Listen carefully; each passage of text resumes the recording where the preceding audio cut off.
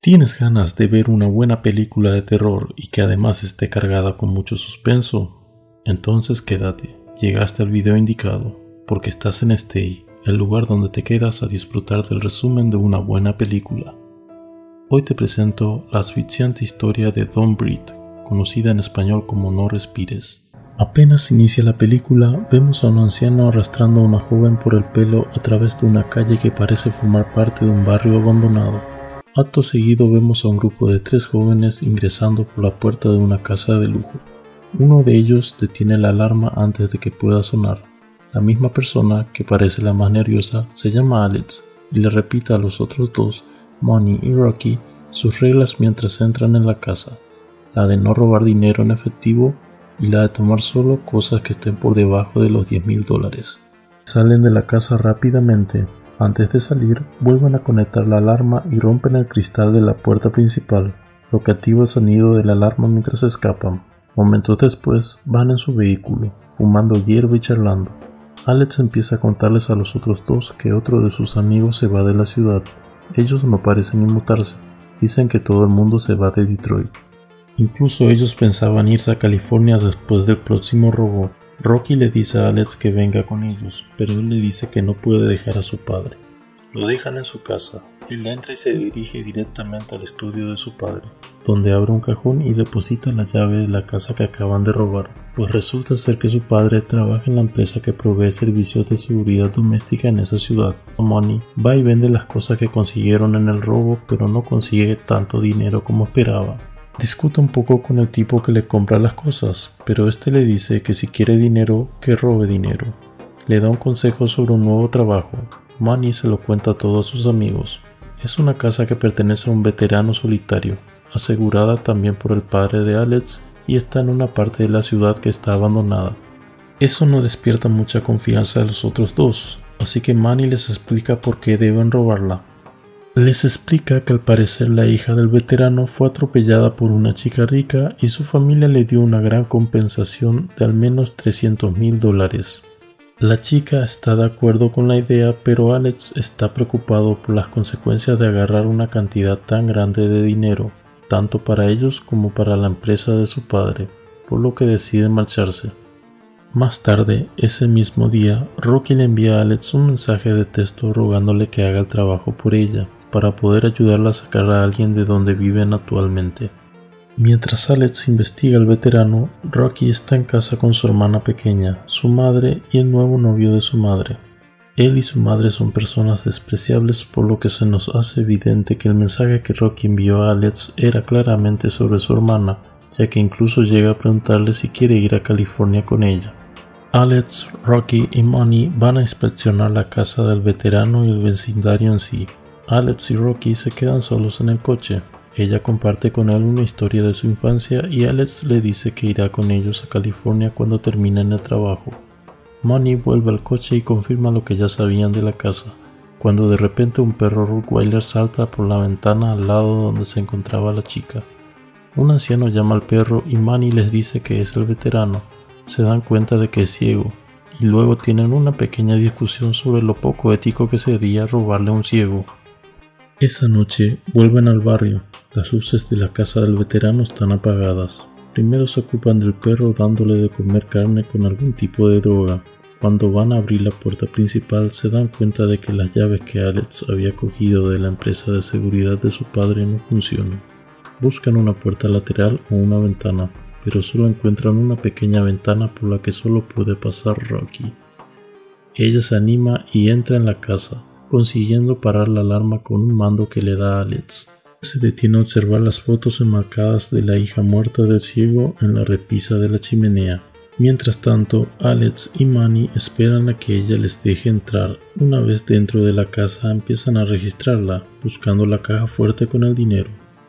Rocky busca en el armario y luego Money va al piso de arriba a cloroformar al veterano ciego para que no se despierte. Lo encuentra durmiendo en su habitación con los sonidos de un video de su hija jugando cuando aún era una niña. El veterano se despierta y apaga el televisor, pero Manny igualmente consigue activar el gas. Luego baja y los tres se encuentran en una puerta con cerrojo, pensando que el dinero debe estar escondido en algún lugar detrás de esa puerta. Manny saca una pistola y pensando que el veterano está durmiendo, hace saltar el cerrojo de la puerta con un disparo. Alex, asustado por cómo cambia las cosas el hecho de tener una pistola allí, decide marcharse. Toma sus zapatos del lugar donde los habían dejado y se va. Manny y Rocky se quedan y abren la puerta, pero el ciego aparece de la nada, preguntando ¿Quién está ahí? Los dos se callan, pero él oye a Manny y empieza a seguir su voz, mientras este intenta primero mentir y luego razonar con el ciego. Él le dispara una vez para asustarlo, pero eso no lo detiene. Alex oye el disparo desde fuera y segundos después vemos al ciego quitándole la pistola de las manos a Manny y disparándole en la cabeza. El ciego aún no sabe que la chica también está allí, por lo que ella rápidamente se esconde en el armario. Alex vuelve a entrar en la casa y casi choca con el ciego, pero lo esquiva mientras este corre por la casa poniéndose rojo a puertas y ventanas. Él se esconde en el baño y se mensajea con Rocky. Ella le dice dónde se esconde y él va tras ella. Pero antes de que Alex llegue, el ciego entra en el armario, arranca un pedazo de yeso de la pared para dejar al descubierto la caja fuerte, introduce su código que es totalmente visible para Rocky y comprueba si está todo el dinero. Cuando comprueba que no se lo han llevado, cierra la caja fuerte y se marcha sin darse cuenta de que Rocky también está dentro del armario. Alex entra en el armario y sugiere que deberían llamar a la policía. Rocky no está de acuerdo, procede a abrir la caja fuerte y toma el dinero, para sorpresa de Alex, quien cree que allí hay alrededor de un millón de dólares. Deciden salir por la puerta que estaba cerrada, pensando que les llevaría al sótano y a una puerta que conduzca al patio.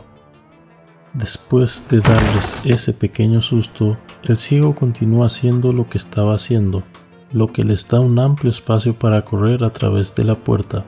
En ese momento todavía no sabe que están allí, hasta que momentos después encuentra sus zapatos. Va a comprobar la caja fuerte y se da cuenta de que el dinero ha desaparecido. Mientras tanto, Alex y Rocky revisan el sótano. Se sorprenden al encontrar a una mujer contenida y amordazada en una celda acolchada casera.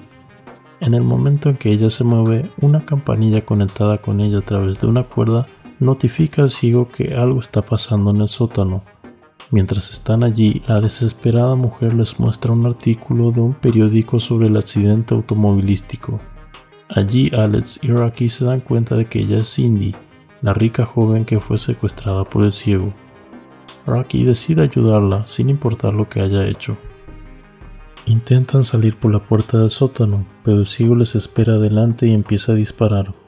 Por error dispara y mata a la chica que mató a su hija, Mientras Alex y Rocky corren, el ciego se queda llorando y abrazando el cuerpo muerto de Cindy, diciendo Luego los persigue por el enorme sótano, después de haber apagado la electricidad. Como en cierto modo ellos también están cegados, el ciego casi consigue atraparlos y estrangular a Alex, pero él logra volver a escapar con Rocky. Fuera del sótano, el Rottweiler, que ahora está totalmente despierto, les espera. El perro los persigue por las escaleras y los acorrala en una de las habitaciones. Las ventanas están trancadas y parece que no tienen escapatoria. Mientras tanto, el ciego los alcanza y se encuentra fuera de la habitación con su perro y una pistola. Rocky y Alex intentan encontrar una forma de escapar. En ese momento ella ve una rejilla de ventilación en la pared. Él le dice que lo atraviese y que mantendrá la puerta a salvo. Cuando ella entra por el respiradero, el perro logra atravesar la puerta y directamente salta encima de Alex, empujándolo por la ventana y provocando que cayera sobre un techo de vidrio, un nivel más abajo. De vuelta a la habitación, el perro sigue a Rocky en el conducto por su olor y la persigue por el hueco. Ella salta al pozo delante de ella para poder escapar. El ciego se da cuenta de dónde está Alex y dispara al techo de vidrio, lanzándolo nuevamente al interior de la vivienda. Alex huye de nuevo, pero el ciego lo alcanza en la habitación donde guarda sus herramientas de jardinería, donde además había escondido el cadáver de Manny. Golpea a Alex hasta dejarlo inconsciente y lo apuñala con unas tijeras de jardinería enormes. Rocky se despierta en el pozo, herida y muy adolorida. Empieza a arrastrarse de nuevo por los conductos de ventilación cuando detecta dos aberturas, una en el interior de la casa y otra en el exterior. Cuando intenta atravesar la rejilla de la abertura que da al exterior de la casa, el ciego la agarra desde la abertura interna y la estira dentro de la casa. Rocky se despierta en el sótano estando atada al igual que la otra mujer. El ciego está allí y ella le suplica que la deje ir, diciendo que no le dirá a nadie lo de la mujer secuestrada. Sin embargo, él explica que retener a la mujer en el sótano no era una tortura ni un castigo por lo que le había hecho su hija, sino que su justificación era la siguiente. Cindy me arrebató a mi hija de las manos lo más justo era que me diera una nueva. Bajo su perturbada lógica, llega a la conclusión de que Rocky es la culpable de su muerte y que ella debe rendir cuentas. Mientras tanto, Alex despierta, pues resulta ser que el ciego no lo había apuñalado a él, sino al cadáver de Manny, Engaña al perro para que entre en la habitación y lo encierra, para luego abrir la puerta principal. De vuelta en el sótano, el ciego está calentando algo. Le dice a Rocky que ahora ella tendrá que dar a luz a su hijo en lugar de Cindy, pero como no es un violador, no la forzará, solo utilizará su esperma. Se nos revela entonces que en realidad estaba calentando su esperma para luego inyectárselo a ella. Afortunadamente, Alex irrumpe en el sótano en el momento justo y el ciego es incapaz de hacer lo que tenía planeado. Alex encadena al ciego y libera a Rocky, quien le da una buena paliza y le hace beber su propio esperma. Posteriormente, Alex le dice a Rocky que llamar a la policía en ese momento es imposible y que deberían dejar al ciego encadenado en el sótano. Los dos toman el dinero y salen del sótano dirigiéndose a la puerta principal. En el momento que Alex abre la puerta, recibe un disparo del ciego, que sorprendentemente ha conseguido liberarse. Afuera ya es de día y Rocky empieza a correr. El ciego envía su Rottweiler tras ella. Tras una larga persecución, ella por fin llega al coche de Money, pero cuando el perro la alcanza se le cae la bolsa con el dinero fuera del vehículo. Además, una vez dentro del coche se da cuenta de que no tiene la llave. Rocky atrapa al perro dentro del coche de forma ingeniosa, pero en cuanto ella sale y recoge la bolsa, el ciego la agarra de nuevo y empieza a tirar de ella hacia su casa arrastrándola por el pelo. Cuando llegan allí, Rocky encuentra el mando de la alarma y lo activa. El sonido desorienta por completo al ciego y ella consigue empujarlo al sótano. Pensando que está muerto, vuelve a tomar el dinero y se dispone a correr, logrando escapar justo antes de que la patrulla llegara a la casa. Luego vemos a Rocky sentada con su hermana pequeña en el bar de una estación de trenes donde de repente escucha una de las noticias en la televisión del bar, con la presentadora hablando de lo que había pasado en la vivienda del veterano de Irak, enterándose así que el ciego había sobrevivido a la caída y que sin embargo no mencionó el hecho de que ella también estaba implicada en el robo ni que le faltaba su dinero. En la escena final vemos a Rocky saliendo del bar para tomar su tren a Los Ángeles, para así finalmente ser libre de vivir una mejor vida junto con su hermana en California.